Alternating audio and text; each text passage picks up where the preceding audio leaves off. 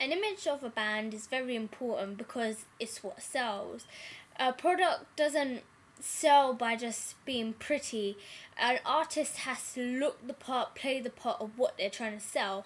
So basically, we try to ooze sex appeal in our image of our band and have that 60s twist because a lot of artists these days, for example, Stooshe, Lil Mix, even Beyonce and I don't, um, Why Don't You Love Me, um, they they use the 60s theme.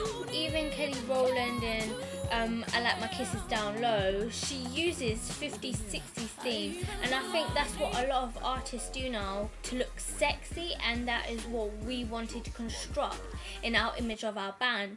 And um, we kind of based our image through Stooshe's appeal because they all dress kind of similar, but they have their own style, and that's what we did with um, the Laurenettes.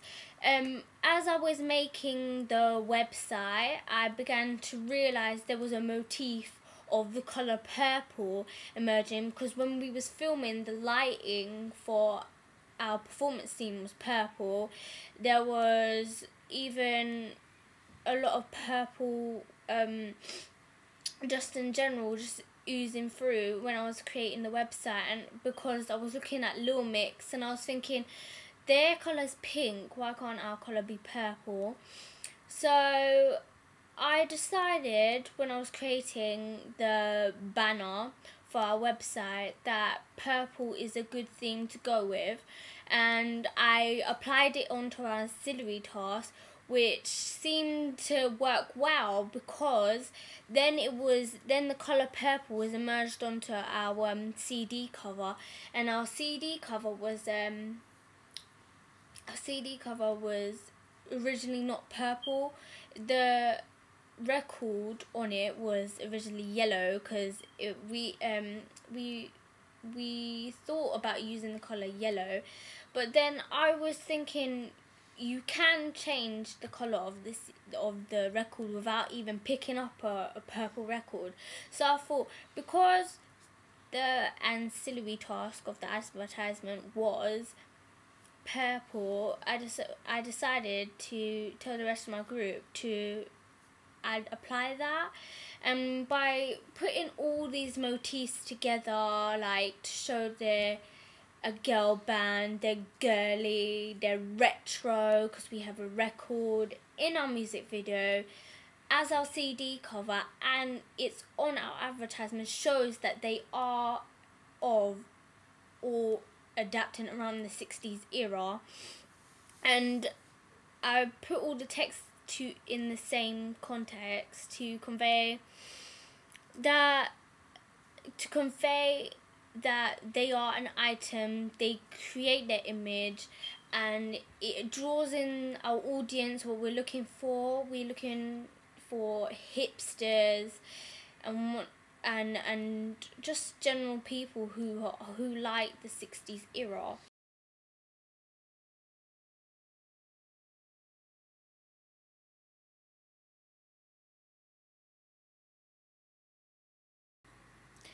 Um, our music video decided to conform to the stereotypes of a pop retro band, as I said earlier, to um, to just make our product more fit in out there. But however, we used the twist of putting a film to it, but we did conform to the stereotype of a girl band. Normally, there's three girls um, we made sure that they were all in costume and always looking sexy because there's no point of a girl band without having sex appeal. Um, to create our music video, we used the idea of Goodwin's theory um, to make it more like a band because some bands tend to be cheesy and more out there. So we use music and visuals of like for example when um when there's like a, a, a beat or coming we tend to cut on the beat to another to another scene or adding jump cuts to to make it more vibrant and funky and fun. Um, in addition, we used visuals and lyrics to get our cheesy appeal across, even though we wasn't going for it. But that's stereotypically what a band or a music video is about. You normally put in things that are related to your lyrics, and we tried to put like ly- lyrics and visual matching. Um, however, there was a specific point in the Poppy's diner where she was like, "Gotta get my cha- chain back from the woman," and she was holding it, and shows that is some significance to her being or thinking of the man she loved or about the breakup. Um, our music video, our lyrics did have two interpretations. Um, it could either be like trying to get back to you because I love you, or um, she like she needs to come to realization that she doesn't need him anymore. She's got to get back on her feet and find who she really is. Um, mise en scène played a big part, as I said earlier about the settings and all of that. The settings was a key part to make our video retro for a start because all these things lead up to make um, what Goodwin's theory is about about constructing the music video in certain ways to get a point across. And the way it's edited and we purposely edited it in a way as a story to show the climax of like the girl's journey.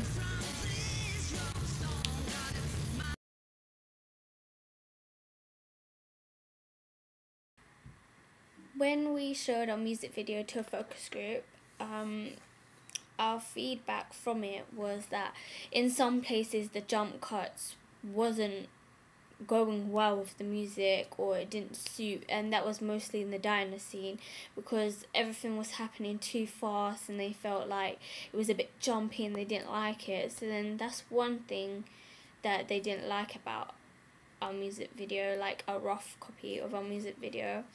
Um they were saying in some places that our video was off sync like it wasn't going to Lauren the main Laurenette's um lips, but we had to say in general and um, that she did she doesn't really elaborate her words. However, like some things we did refilm for her to like try and like open her mouth and exaggerate the words.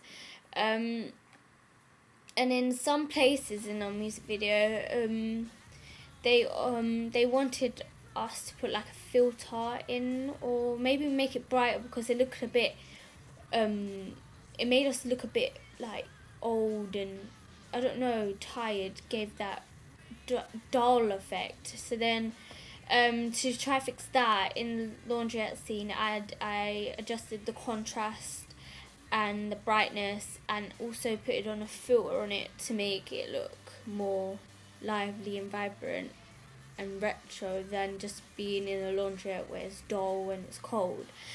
Um, I considered putting that in in the laundrette scene and near the ending and to fix the ending we put like, I decided to put like previous parts of what's happened in the music video to put at the end but apart from that, everybody liked the colours that was used in the in the Poppy Diner because it's a lot of red. They used they liked how we used the the record players and they liked the story and they mostly liked our theme of a performance scene at the end. And that's what mostly everyone um liked our video and we took it into consideration to make a better music video because we want to draw in our audience and make our music video appealing.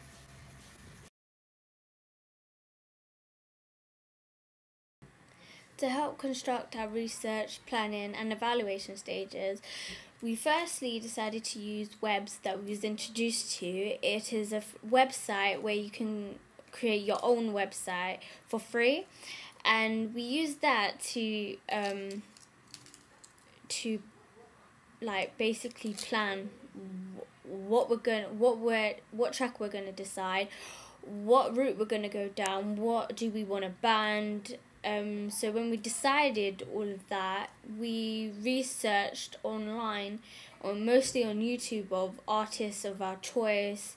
For example, the uh, the Ronettes, um, Paloma Faith, um, Girls Aloud, because they do have some videos that are 60s themed. Um, and we use YouTube um, to help us on webs where we created a blog for all our research. For example, um, to look for eye makeup, the right hairstyles to use, and that was key when we was in the performance scene because it all creates an image. Like mise en scène is very important, and um, with webs, we then decided to make a website, actual official website for our band, and with our, our knowledge of webs, we could make an advanced website like a band's, and but to help use that, we use Photoshop. I use Photoshop to edit the banner bit of the Laurenettes. Um, just and I took that that image from the actual music video. So I just took a still from the actual music video and took it into Photoshop and then um, added the um, font in from an, a website which I downloaded onto Photoshop. Um, what else? We decided um, we used Photoshop for our ancillary tasks, like both of them, for the poster, the advertisement, and the CD cover. Everything was done mostly by, well, really done by me in Photoshop. And to make our music video, we obviously used Final Cut because we're all confident in using Final Cut. Um, and in our evaluation stages, I pretty much used everything. I took screenshots um, online. I used YouTube, YouTube videos to help make this evaluation, and I used Final Cut to edit it. Nothing different there. Um, but using these, um, using these um, media technologies to help construct our research plan and evaluation was really good because um, even though it wasn't I wasn't really um, confident with Photoshop, I learned how to use it. Um, but using webs, it was it was good to to help us plan as it had a calendar on it um, from when we're going to film. Um, we could put our own comments on there. We could put on Flickr. We could put on um, our YouTube account, which did have some animations of our storyboard. Um, we also used it like SlideShare for an analysis, and I helped embedded that into our website. And on our actual website, we then developed the knowledge from that and put it into our official website.